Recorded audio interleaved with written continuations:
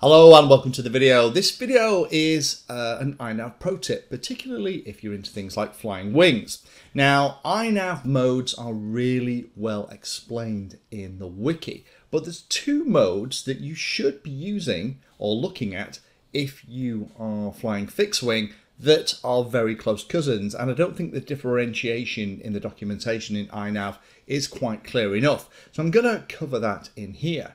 Now, I need to say a massive thank you to a gentleman called Pavel Spychalski, and I'll put a link in the description to him. He's one of the lead iNav developers and a guy that I talk to regularly. Really, really lovely chap, fantastic channel, giving tips and tricks about iNav. And he was really helpful in kind of explaining the differences in these modes. Because when I maiden an aircraft with iNav, you'll see in my videos that I always add something called manual mode. And although that's really good for maidening a model because it gives you the ability to turn iNav off, kind of, so that if something horrible has been set up um, incorrectly in iNav, you can still get your model down safely. It's actually not a particularly great mode to fly in once you've got iNav all dialed in. In fact, the other mode called Acro is probably a better bet, and let me explain why. First of all, let's talk about manual flight mode. Now, manual flight mode is selectable in the iNav configurator in exactly the same way as you would any other flight mode. And manual flight mode is a little bit different. It doesn't use the PIFF loop. That's proportional, integral, and feed forward. And those are the PID loop equivalents for something like a fixed wing. So you are turning off all of the help and support of the flight controller and flying it as directly as you can when you have iNav installed. Now that's the reason that I use it for maidens because it does mean that if you have something weird set up, you've got your PIFF settings weird, your corrections wrong, your board alignments whacked out, whatever it is, doesn't matter.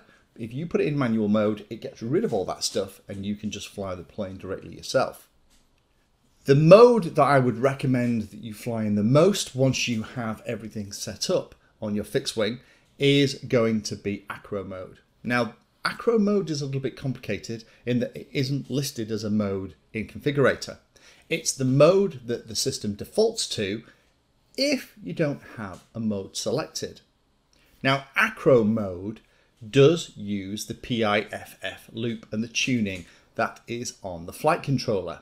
So you still get the benefit of that stabilization from proportional, if you use that on a, on a wing, the integral and the feed forward element of the loop actually to help you with the flight, but you still have direct control. There is one thing that you have to be aware of on the bench, and that is when you're in acro, you might see that as you move the sticks on the radio, the control surfaces on the model move only a very small amount. And for lots of people, that really freaks them out. It used to freak me out until I realized what was going on.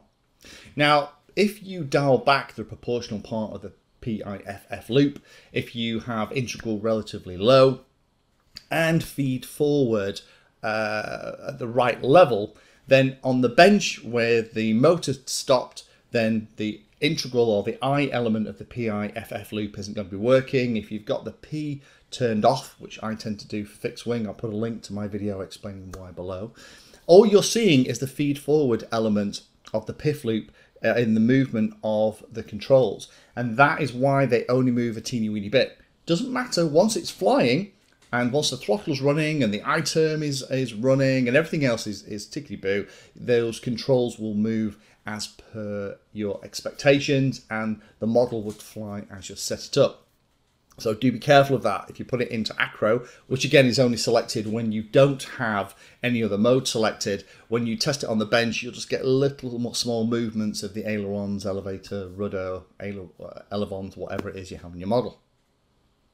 So there you have it. That's the difference between the two. Uh, manual mode is really manual. It doesn't have any of the PIFF loop pieces in it. It's the one that I would only really use for your maiden to give you a bailout option if iNav misbehaves.